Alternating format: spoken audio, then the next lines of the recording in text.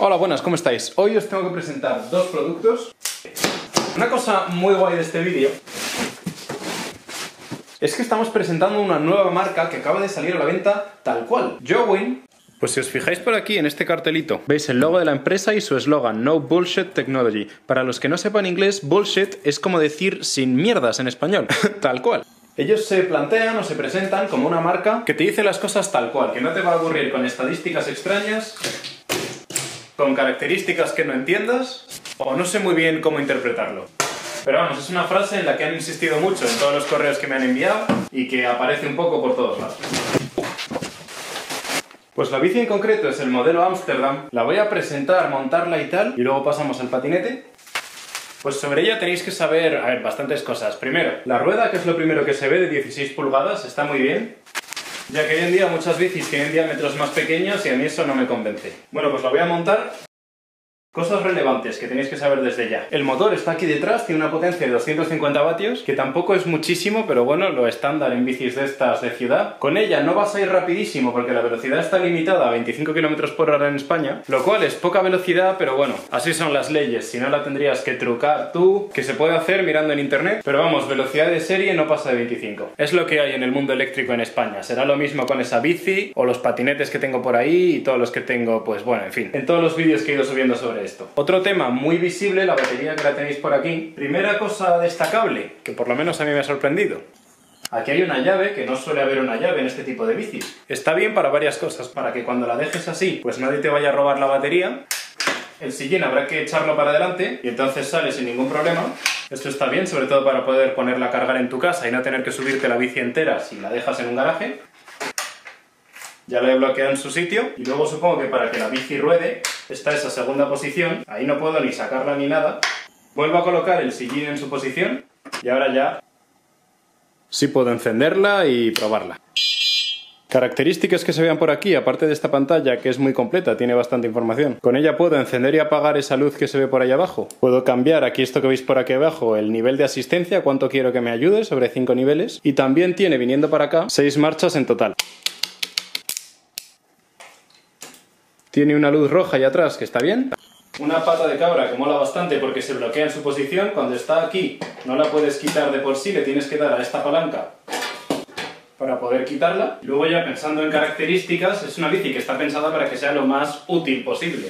Una posición muy cómoda, muy de ciudad, con cubiertas aquí en los guardabarros, tu pequeño espacio aquí detrás para apoyar, yo que sé, el periódico si quieres llevar equipaje. Y luego una vez estás montando, los temas que tienes que saber, por ejemplo, que el freno tanto el delantero como el trasero son de disco, luego que es resistente tanto al agua como al polvo, lo cual es básico porque siempre te puede llover, y lo que probablemente os parezca lo más importante de todo, la autonomía son unos 40 kilómetros podrás recorrer con ella casi que sin ningún problema. Aquí os dejo imágenes y cosas probándola por ahí. Todo grabado un poco rápidamente porque Black Friday es justo hoy y tengo que aprovechar todo lo que pueda. Luego os hablaré de las ofertas específicas para comprar uno y otro. Lo único que tenéis que saber, y ya volvemos a la bici en mi habitación, pues hombre, eso lo digo desde ya. El precio son 640 euros más o menos nueva, pero aprovechando ofertas Black Friday y demás, que hoy es el día, en MediaMarkt la tienes por 555 euros. Y nada, es una nueva marca que acaba de salir al mercado.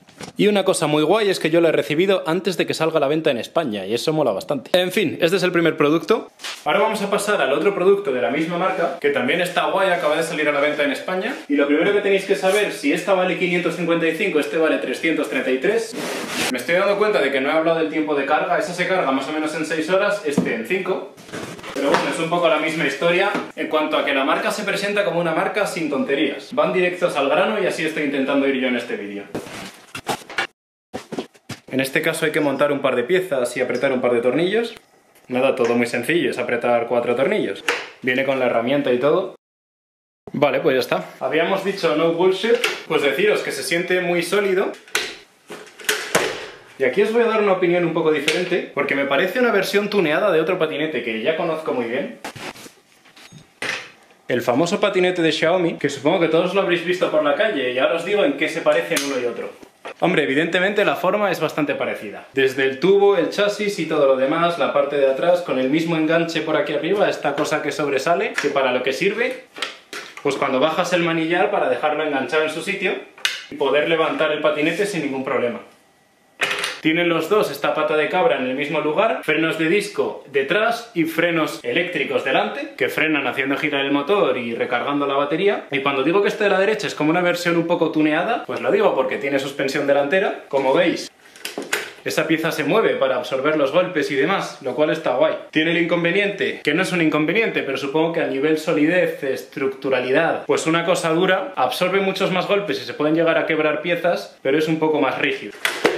Pero vamos, cuando decía inconvenientes me refería sobre todo a saltar. Es más difícil saltar con este que con el de Xiaomi. Pero vamos, no creo que os estéis comparando un patinete para ir saltando por ahí. Bueno, aquí os dejo una imagen saltando el otro día con el de Xiaomi, que me lo pasé muy bien en el vídeo sobre él, haciendo un montón de saltos y un montón de tonterías. Os recomiendo que lo veáis al final, así podréis comparar uno con el otro. Pero vamos, volviendo al vídeo en el que estamos, entre este y este esa cosa es muy parecida. Luego, como que si lo tuviéramos que resumir, toda la parte de atrás se parece un montón cuando está aquí plegado, de aquí para allá. Sin embargo, todo ese tren delantero es diferente. Y la mayor diferencia, o por lo menos la que más me ha llamado a mí la atención, aparte de la suspensión, que obviamente se nota mucho, pues son las ruedas. Si las miráis de cerca veréis que las de Xiaomi son ruedas normales, con cámara, que se hinchan como las de una bici, y en este caso me han puesto unas que ellos las llaman ruedas antipinchazos porque lo son. ¿Veis que tienen agujeritos por todos lados? Pues básicamente en lugar de llevar aire por dentro, lo que llevan es esto, que es una cubierta sólida, y así no se puede pueden pinchar porque es básicamente un trozo de plástico duro. Con estos agujeros consiguen absorber un poquito del impacto cada vez que caigan, así que está guay.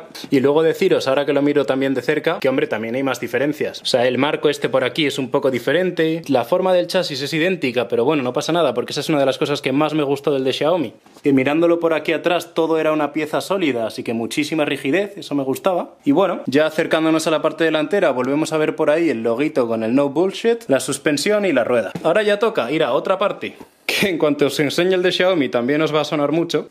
Vamos, lo que viene siendo los manillares, pues es un poco la misma interfaz. Tienes aquí un acelerador, tienes aquí pues en este caso el cacharro que sirve para engancharse a la rueda de atrás y aquí está el timbre y mirando por aquí el freno, pues en este caso un poco igual, tienes por un lado el acelerador, cuando está parado no acelera y en cuanto te pones a andar y aceleras ya sí que te empuja el motor. Y luego nada, por aquí el freno, en este caso el timbre lo han puesto delante en lugar de colocarlo directamente sobre esta pieza y en esta pieza solo está el enganche que va a la rueda de atrás. Ahora ya probándolo en más detalle y demás, pues nada, sabéis que tiene tres modos de velocidad, igual que el otro tenía cinco, en este caso tienes tres, uno normal, uno ecológico y un modo Sport, aunque Sport es muy relativo porque solo llega a 25 por hora entonces muy muy rápido la verdad es que no es, pero bueno, no está mal. Que el peso son 12 kilos, que bueno, similar al de Xiaomi, se nota muy bien de peso, es bastante ligero, lo puedes llevar con una mano sin ningún problema. Bueno, y hablando ya de potencia y autonomía, que sí que son cosas que le interesan a todo el mundo, pues que sepáis que el motor tiene 350 vatios, son 100 vatios más de los que tenía la bici que hemos probado justo antes, pero claro, la otra tiene pedales para ayudarte, en este caso no tienes nada. Así que con ellos puedes llegar hasta los 25 km por hora que te decía y también tienes una autonomía de 25 km. Estos patinetes lo que más se nota es la ligereza. Versus la bici, que es como mucho más cacharro, en estos te puedes mover más, puedes hacer un poco más el tonto, y en general son cacharros muy divertidos. El único problema que le veo es lo de la velocidad,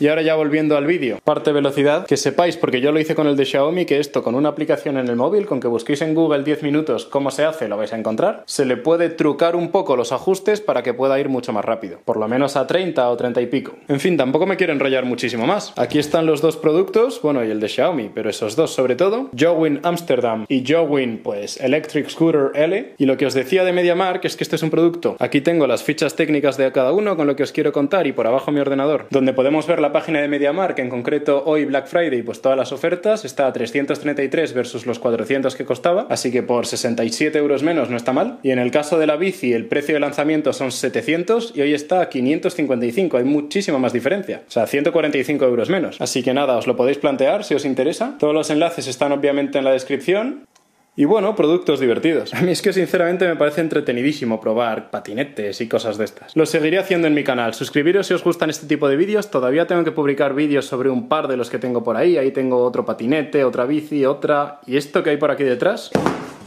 otro patinete más que ya probaremos en un vídeo dentro de poco. Bueno, estos son los nuevos productos de Joey. Y nada, que muchas gracias por ver el vídeo y nos vemos en el próximo. Aprovechad Black Friday, que estábamos a tope todos.